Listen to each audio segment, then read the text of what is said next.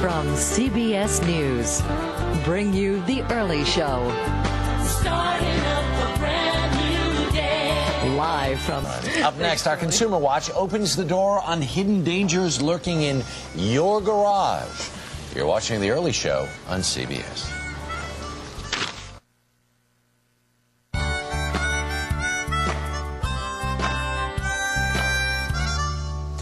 Is your garage in need of a major overhaul? It might be a good time to get organized because this is Garage Safety Week. Didn't know you had that, did you? Far too many garages are not only cluttered, they are filled with hidden hazards, too. Early show consumer correspondent Susan Koeppen has details. Good morning. Good morning, Harry.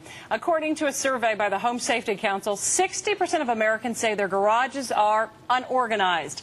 And most of us not concerned about safety in that part of the house, but experts say we should be. You should treat the garage like a room in your home, not just a place to dump your junk. Anthony and Charlene Moschetto do a great job of keeping their house clean, even with a new baby. Their garage is a different story. We've been trying to keep the house organized, but somehow the garage uh, didn't fall in with the rest of the house. Take a look. Their garage doesn't look unorganized or dangerous, but experts say it's filled with hidden hazards. As a home safety professional, I go into almost anybody's garage and see plenty to worry about.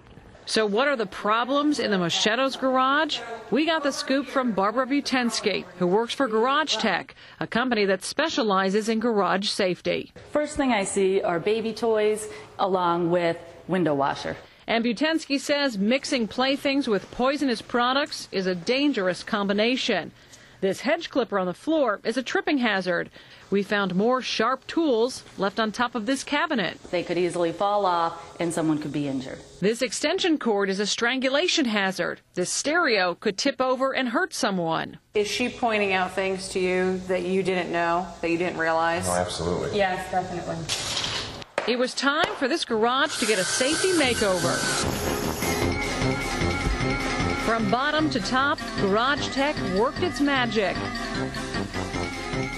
Two days later, we came back to see the transformation. Wow, what do you guys think? It looks amazing. I can't believe they could do all this in two days.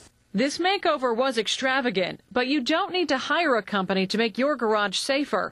Just follow some basic tips. First, get clutter off the floor. Dangerous items should be stored high and out of children's reach. So this is now the tool center. Yes. Quite a difference. Absolutely. Much safer.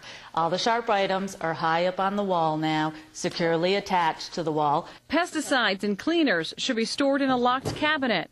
Hang ladders on their side so kids can't climb them. And on top of the floor, put down slip resistant tiles to prevent falls.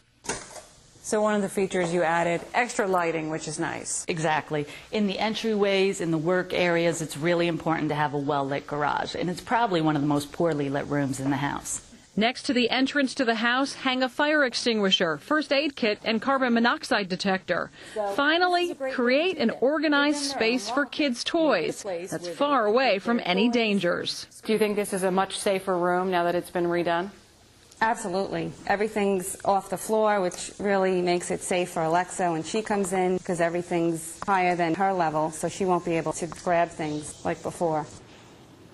Most injuries in the garage come from falls, slips, and stepping on objects. It's a good idea to clean up the garage, not just for your family, but your pets as well. They can get into a lot of things left on the floor. Harry. Especially poisons and garden products, stuff like that. Now, these people, that garage was unbelievable. You looked like you could eat off of the floor of that garage. They that just- was not a mess. They just moved in three months ago, Oh, okay. so it's a very nice garage, but they did have a lot of uh, hazards there.